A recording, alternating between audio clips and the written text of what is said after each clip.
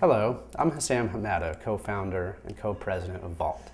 Today we're going to go over guesstimation exercises.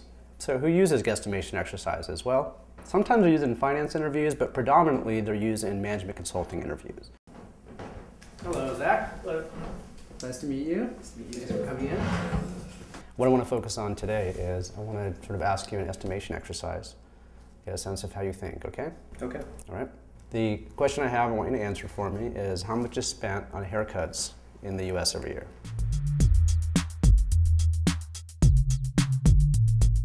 So what is the interviewer looking for in asking that question? Well, the first thing to keep in mind is that the interviewer does not necessarily want an actual answer or expect a correct answer. The real goal is to see how you think in arriving at that answer. Think out loud. The only way the interviewer can know your thought process is to actually talk through the answer. What I'm going to do while I calculate this is I'm going to get the sample size of how many people are in America and then take out the people that don't get haircuts. In this case, Zach did the right thing. He started off by just sort of rough, with a rough estimate of the size of the market. Next thing to determine is the price of a haircut. Try to use nice, simple numbers. Let's say men spend $20 on a haircut and women spend $40 on a haircut. Starting with $20 is a lot easier to work with than $23. Anything else that might adjust your number? Um, yeah, if they were, you know, if you consider all the extra products or tax and tip that people, you know, give someone who cuts their hair, but that wasn't part of the question. It's also good to point out maybe complications that you did not factor in in your calculation for simplicity. Finally, at the very end, it's good to do some kind of gut check to see if your answer might be in the ballpark of being correct. Okay, and what do you have? 50 trillion, 400 billion dollars per year spent on haircuts. Most market sizing questions, like the haircut question, are probably going to be measured in the billions. Most markets in the US are in the billions of dollars a year. How much is spent on haircuts in the US every year?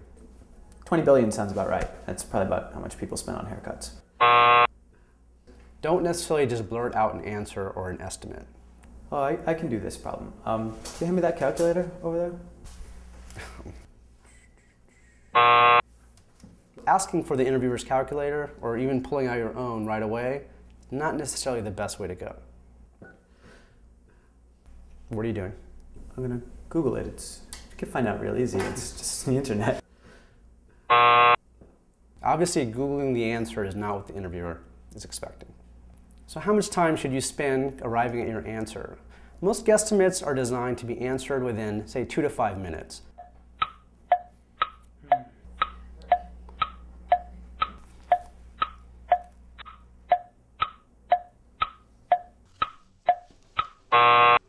If you're starting to get into the 10 minute range, not only are you eating up your entire interview, but you really are taking too long.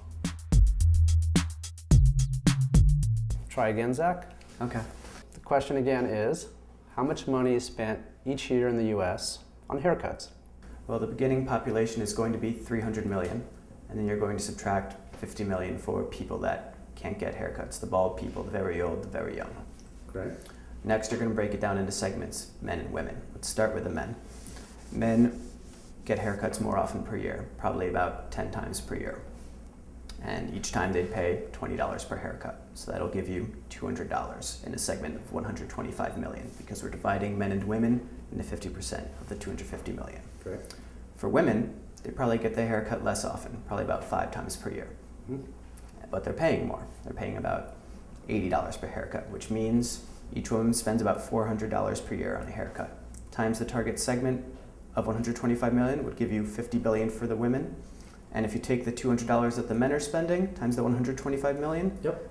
that's 25 billion. So altogether, 75 billion dollars on haircuts per year. Great. Good job. For more information on case interviews and guesstimates, please see vault.com.